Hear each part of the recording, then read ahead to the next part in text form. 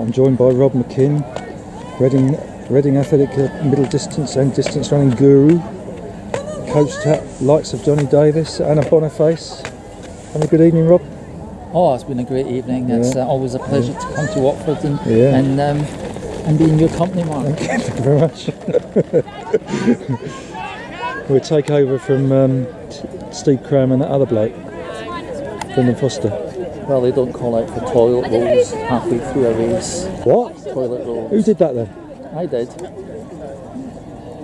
When I was commentating at the BMC Young Athlete Academy meeting Oh, recently, and uh, Had to commentating get on the race. emergency, supply- we had run out of toilet rolls, so I had to make a call for toilet rolls. Crikey, And uh, didn't you? Yeah.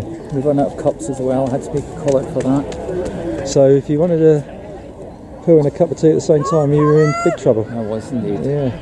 But that was makes the, the BMC Young Athletes meeting such fun.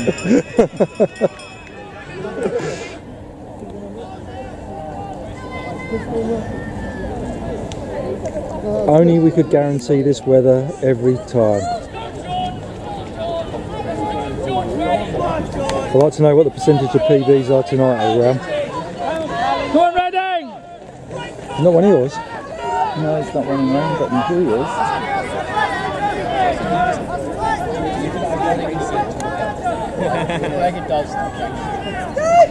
You'll be pleased to know Sam Cricks had his tonsils out Oh, that's good. a week ago, so he'll be on the on the, well, he's on the mend. He came down to watch last training last night. He's just got to take it easy for another week.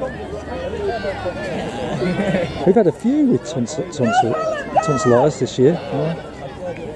I had my appendix taken out on April Fool's Day.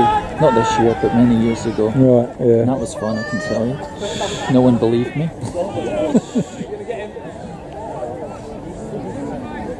All right, Matt. I'm ready. Another 15 minutes.